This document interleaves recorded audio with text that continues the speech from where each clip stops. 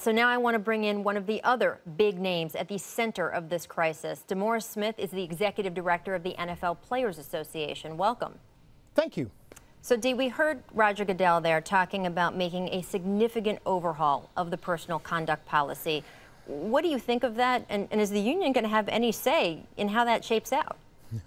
well, the, the personal conduct policy is something that Roger and I have spent a tremendous amount of time talking about, perhaps uh, not necessarily agreeing about, but um, hearing that they intend to have a discussion about overhauling that system is something that the union will have to be a part of. Year round, you guys are really the nerve center for the players in the NFL. If they need something, they call you. If they get in trouble, they call you.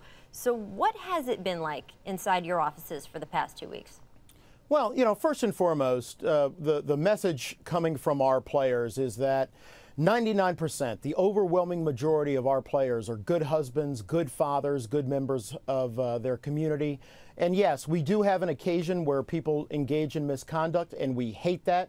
Um, I hate that that it that what it means for the relationships that they're in but I know it doesn't represent the majority of the players. And as all these cases have developed, one of the biggest frustrations the public has had is that the NFL has seemed to be levying these punishments with an etch a sketch, right? I mean, scribble something out, then there's a public backlash. So let's just shake, erase, and scribble something else out. Now, today, Roger Goodell did address steps to try to change that. But why do you guys, as a union, think that that has been such a problem, especially with the public trust here?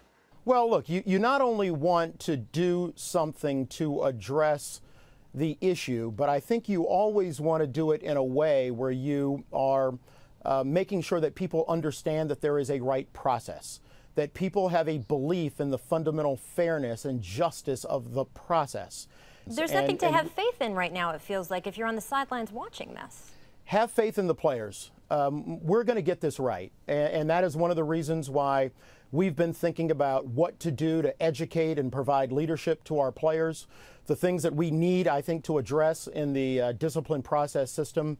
But have faith in the players, and, and I have faith in them. I have the pleasure of having this job, and I know we're going to get it right. All right, thanks for joining us. We will all be watching closely as this situation unfolds for sure.